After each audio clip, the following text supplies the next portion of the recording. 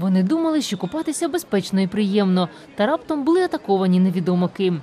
У воді з'явилися плями крові. Над річкою рознеслися відчайдушні крики людей. В оточенні риб хижаків опинились і діти. Ми зафіксували значну кількість травм понад 60 людей. Серед них чимало дітей. У деяких дуже важкі травми. В однієї людини відкушено частину пальця, на інших сліди укусів. Це все ось через цю рибу. Паламетас – одна з родичок більш відомої піраньї, що живе в річках Південної Америки. За офіційними повідомленнями, у деяких постраждалих відгризані шматки плоті. Жертви купалися в ріці Парана поблизу міста Розаріо. Випадки нападу риб тут трапляються дуже рідко. Ріка популярне місце пляжного відпочинку. Зараз на її берегах багато людей рятуються від спеки.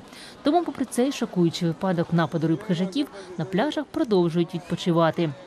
Пляжники знову полізли у воду вже через півгодини після безжалісного нападу риб хижаків з ріки Парана.